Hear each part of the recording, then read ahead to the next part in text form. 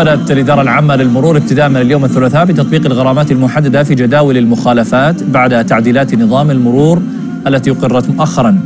وقد طبق نظام المرور بعد تعديلاته الجديدة وموافقة مجلس الوزراء بالعديد من اللوائح والأنظمة الصارمة. جاءت التعديلات الجديدة بهدف الحد من الحوادث المرورية القاتلة وكبح المخالفات المرورية التي تزايدت في الفترة الأخيرة.